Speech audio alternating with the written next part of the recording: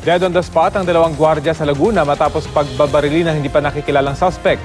Away sa lupang binabantayan ng mga biktima ang tinitinang motibo ng mga otoridad.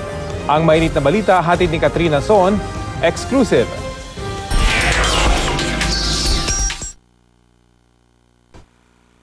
Kita sa CCTV ito na nagpabalik-balik itong AUV pasado tanghali sa Sitio Kawad, Barangay Santo Domingo sa Santa Rosa, Laguna. Pumarada ito sa tapat ng isang outpost kung saan may dalawang security guard. Maya-maya makikitang bumagsak ang isa sa mga gwardya. Nabaril na pala siya, pati ang kasama niyang gwardya na dinahagip ng kamera.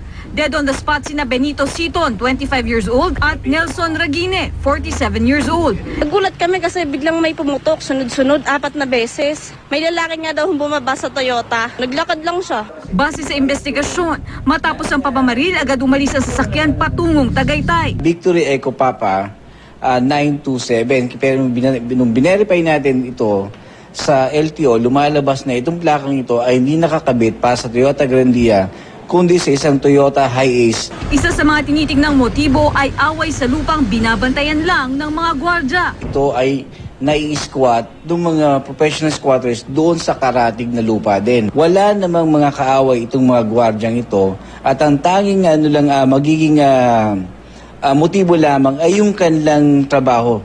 Katrina Son, GMA News.